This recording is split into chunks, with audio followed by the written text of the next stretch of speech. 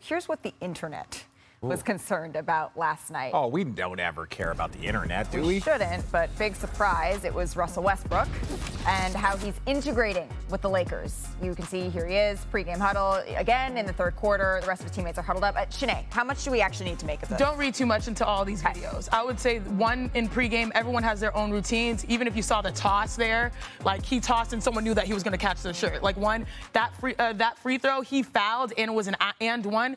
Everyone has a heat of the moment reaction to that. Mm. I would read more. What? Do you not have a heat of the moment reaction to an and one foul? I oh, do. No, no, no, no. I just remember on the call this morning there was a term that you used. Oh well, look. I think. okay, if this this is this is the moment in preseason right now. If this is midseason, that yeah. could look more yes. like an act of defiance. But when you're reacting, you already know that when yes. you foul and it's an and one, you're going to be mad for a moment. I would have done the same thing that Russ did. Mm. I think more concerning is that he's one for three from the field, played 25 minutes. They're trying to say we need to get you to incorporate screening more. Like you don't want Russ passive, but you also want him to be productive. And so that's going to be a conundrum. We also saw this video, Malika, where it's like clearly it's frustrations and there's some ping pong being played on a basketball court. Yeah. But yeah, like you can take some of these clips out of context and think that their problems are bigger. Their problems are on the court, not necessarily with Russ' behavior. Well, the, the context here seems to be important, right? This is something where in a couple of weeks, couple of months, if other things happen, we may look it's back different. on this moment. But for right now, you just sort of have to leave it with what exactly. it is. Brian, there was something else that was concerning to you, though, that had really nothing to do with these videos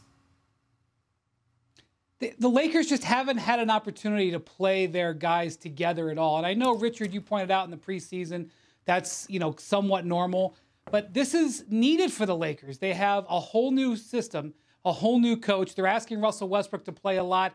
He's barely played with LeBron James and Anthony Davis in this new role alongside Patrick Beverley. Um, Lonnie Walker, who's a key player that they added, their biggest offseason signing, he's now injured for the second time. Only played a couple of minutes last night. He missed some games early. I mean, you know, Dennis Schroeder, he misses like two weeks with visa issues. For the last decade, the Lakers have always had a very backloaded schedule because they've loaded up for TV after football season. That's not the case anymore. The networks aren't holding back great Laker games. As a result, Normally they have a, an easier November. They have a hard November.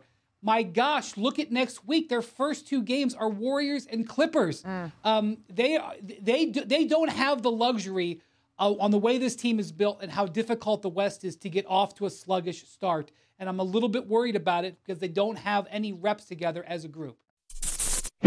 Thank you for watching ESPN on YouTube. For live streaming sports and premium content, subscribe to ESPN Plus.